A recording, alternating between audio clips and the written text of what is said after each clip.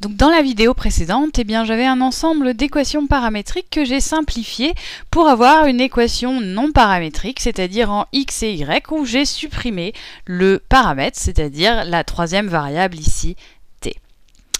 Et ce que j'ai vu, c'est que, eh en faisant cette, simplification-là, j'arrivais à l'équation eh d'une ellipse que j'avais représentée ici. Et cette équation-là, ici en x et y, eh m'a donné donc la trajectoire eh bien, euh, qui serait prise par un objet qui suivrait euh, ces équations paramétriques ici. Par contre, euh, elle ne donne pas du tout en fait la direction du mouvement qu'aurait cet objet-là s'il suivait cette trajectoire-là, ni la vitesse à laquelle il ferait ça, puisque ici, eh bien, on a perdu l'information temporelle de t. Et donc ça nous amène ça à une question importante, c'est est-ce que cet ensemble en fait d'équations paramétriques est le seul ensemble qui permette d'obtenir l'équation de la trajectoire ici, donc l'équation de cette ellipse-là? En d'autres termes, est-ce qu'on peut trouver euh, euh, d'autres ensembles d'équations paramétriques qui peuvent aussi être simplifiées euh, dans cette expression x et y, c'est-à-dire qui décrivent la même trajectoire?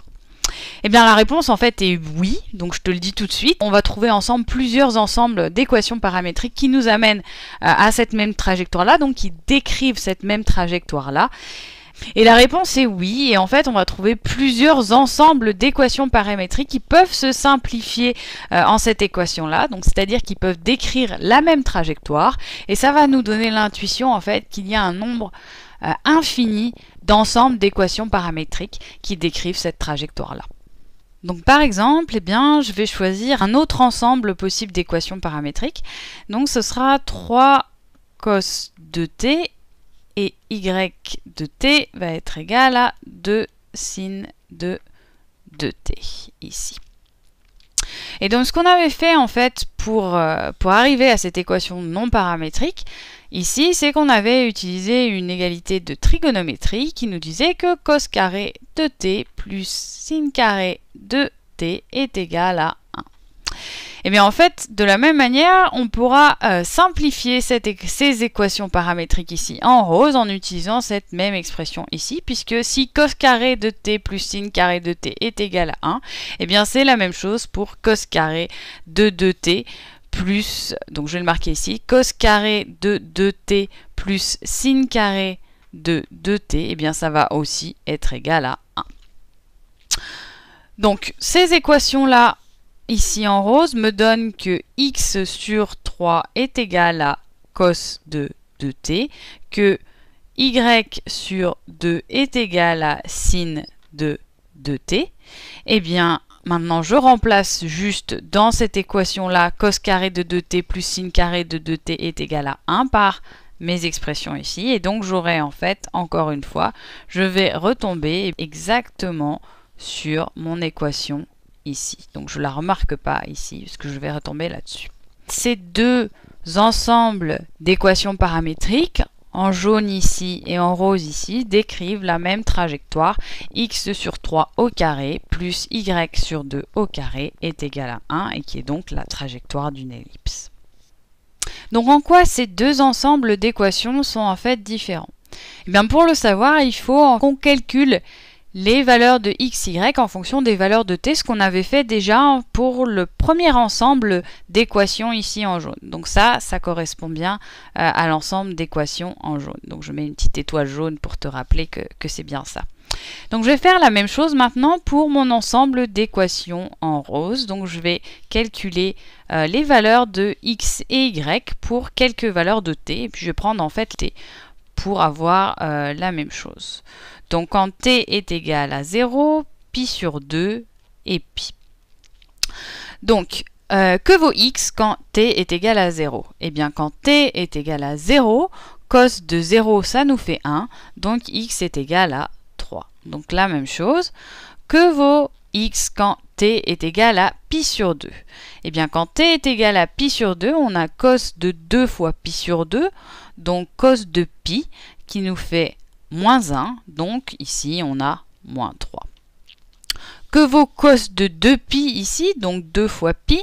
Eh bien, cos de 2pi, c'est comme cos de 0, donc ça va valoir euh, ici 1, et donc 3 fois 1, 3.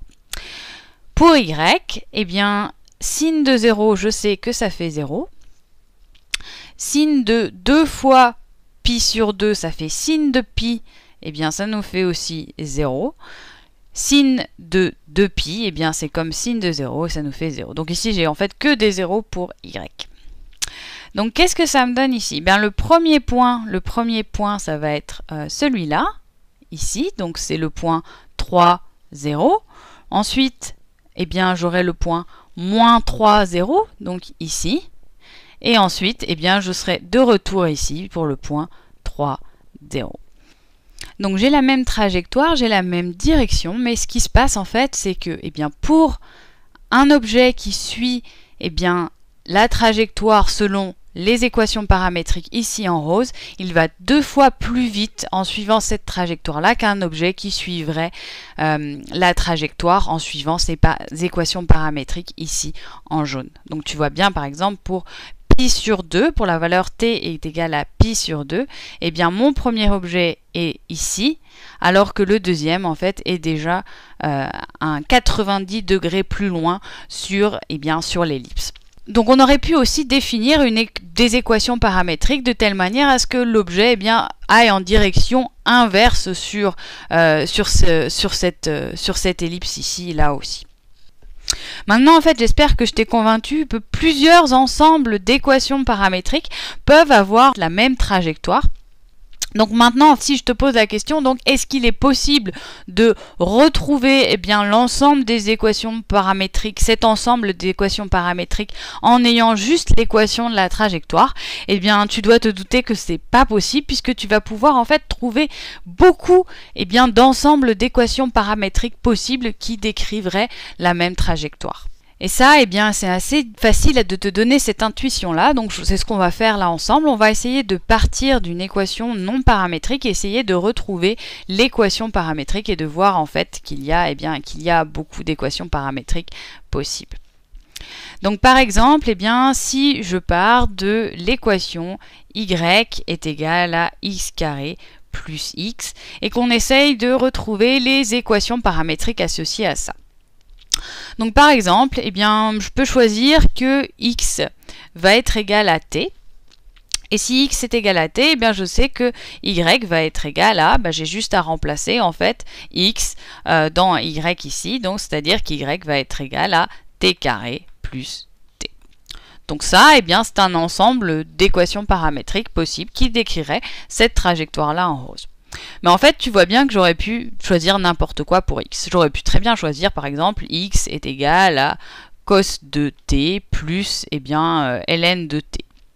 Et y, dans ce cas-là, eh bien, ça aurait été cos de t plus ln de t, le tout au carré, plus eh bien, cos de t plus ln de Donc simplement en reprenant encore une fois, en remplaçant x dans cette équation-là y. Donc là, eh bien, j'ai un deuxième ensemble d'équations paramétriques possibles qui me décrirait la même direction ici.